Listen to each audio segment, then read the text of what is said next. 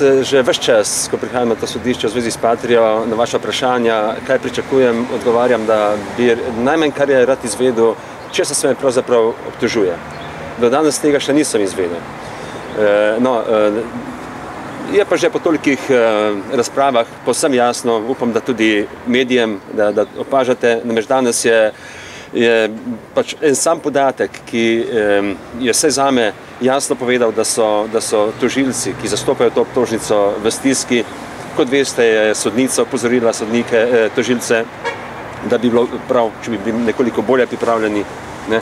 Torej, farsa se kaže v polni meri in po koloarjih se pač govori danes, da ni več razlogov za to, da bi se proces nadaljeval, kajti torej, osnovni namen ki je bil seveda Janez Janša onemogočiti pri kandidaturi eh, za premijeja na, na teh volitvah. Ne. Torej, to je mimo, Janez Janša je izvoljen, sestavlja vlado, kot vemo. Ne. In jaz v tem procesu sem, mi je dodeljena kot ponavadi, tako se jaz to vidim, glavna stranska vloga, da bi bila obtožba Janša čim bolj popolna. In skratka, eh, govori se, ne vem koliko, koliko mir je to resnica, da se je danes seveda eh, štab v Murglah odel v Črnino, upravičeno, ni jim uspelo. Naj bi tudi zastava, bela zastava predaje visela na nekem drogu v Murglah.